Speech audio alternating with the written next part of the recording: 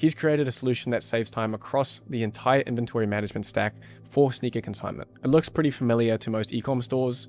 You've got inventory automations that generate barcodes, labels, financial reports, payment tracking, everything that you'd expect. But what sets it apart is how the AI integration helps streamline and solve decision making on the front end. By connecting the same Airtable database that runs the rest of the business's automations, the system allows them to send that information to OpenAI APIs and get the LLMs to review the purchase details, the sneaker models, the sizes, the prices, purchase dates, and more importantly, how quickly the items were solved. For example, using basic no-code automation platforms like Make.com, they use well-prompted ChatGPT steps to analyze one month's historical data to identify up-to-date trends within the shop, which sneaker models sell fastest, which sizes are the most popular, what price points maximize profit, and seasonal demand patterns. It then suggests buyback prices and walks you through its reasoning usually a combination of profit margin, current demand, and how well similar inventory has done historically at reselling fast. You can then use these insights on what to double down on in next month's order and combine the AI's analysis with your own intuitions on what products deserve shelf space